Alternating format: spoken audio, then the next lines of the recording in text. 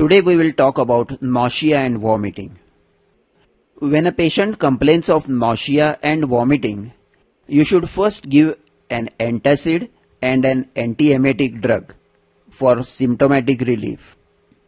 Give 2 to 3 teaspoonfuls of an antacid like Digene and 1 tablet of Perinorm or Reglan that is metoclopramide. You may also give a tablet of ondansetron 4 milligrams, especially if the patient is sensitive to metoclopramide. However, if vomiting is active, the patient may vomit out the medicines. So if vomiting is predominant, give injectable drugs. Give injection Reglan or Perinorm 2 cc IM or IV or injection Emeset that is ondansetron 8 mg IM or IV.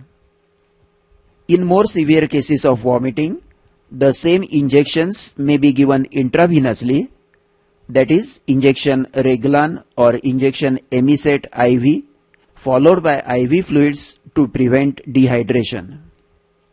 Along with this symptomatic treatment, give injection of ranitidine or omeprazole IV to control acidity and domperidone 10 mg TDS to regulate gastric motility.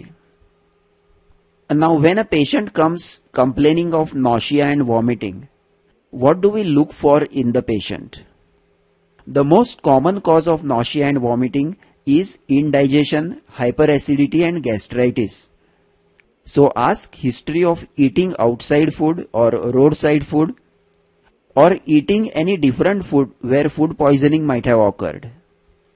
Then is there associated fever?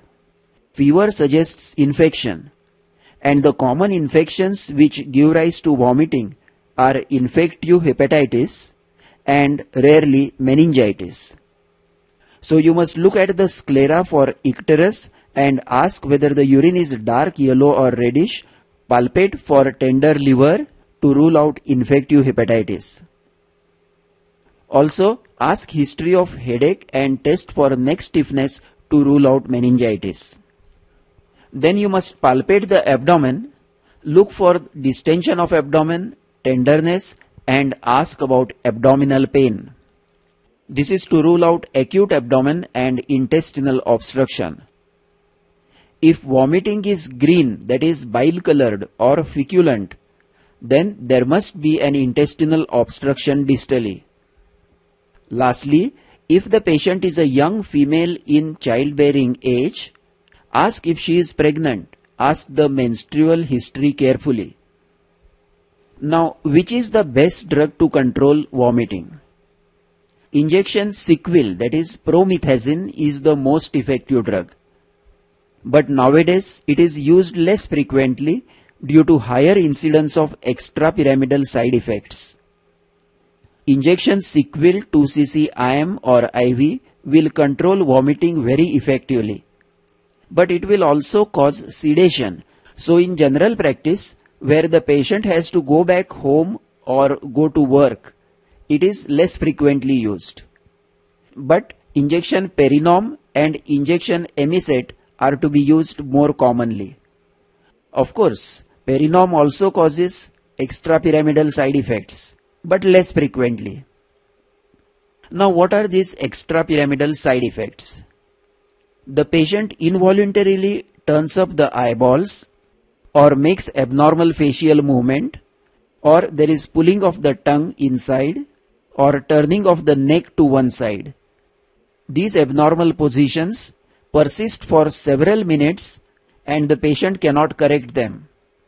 These are all harmless but cause a lot of anxiety to the patient and the relatives, especially because the face remains distorted. You must assure them that it is harmless and give 2 tablets of Pacitane and 1 tablet of Calmpose. Intravenous Calmpose, that is diazepam, will relieve the spasm more quickly. So it is always better to have a few tablets of Pacitane in stock when in your practice you use injection of Perinorm or Siquil or Stemetil. Ondansetron does not have this reaction. Now lastly, I will tell you some pitfalls. With careful history taking, you should differentiate cases of esophageal regurgitation. If the food is vomited immediately after swallowing and every time on swallowing, then a lower esophageal obstruction is more likely.